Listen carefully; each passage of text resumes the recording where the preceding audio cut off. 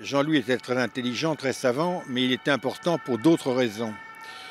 Il était important parce qu'au contraire de beaucoup de philosophes qui se contentent de commenter les ouvrages des autres philosophes, lui avait, à cause de son extrême sensibilité, qui n'était pas sans difficulté pour lui bien sûr, à cause de son extrême sensibilité donc, il était capable d'avoir accès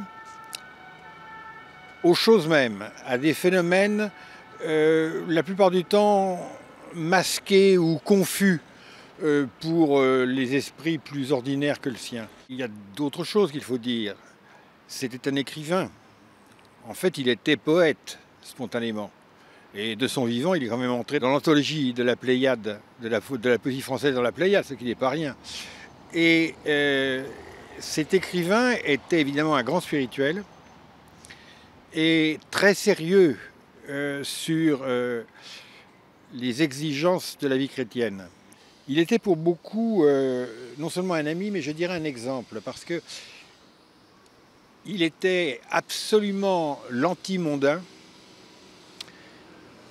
Il ne voyageait pas, il travaillait tout le temps, il ne faisait aucun compromis sur le sérieux des questions qu'il abordait. Et donc il nous servait un peu d'exemple et de, redresseur de tort de temps en temps. C'est ainsi que lui a pu m'aider à certains moments où j'en avais besoin, où j'avais besoin qu'on me dise les choses, et euh, il reste un exemple.